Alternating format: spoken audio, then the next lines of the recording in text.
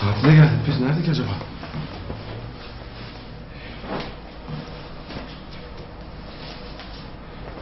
Ne yapıyorsun kızım sen? Muayene yapacak ya doktor geldiğinde iş olmasın şimdi. Çık. Saçmalama kızım ne yapıyorsun lan ne yapıyorsun? Ağzını açacak boğazına bakacak herif be Allah Allah. Bu ne? Çabuk yiyin. Çabuk gelecek herif neredeyse. Kızım saati geldi. Çabuk. Geldi vallahi.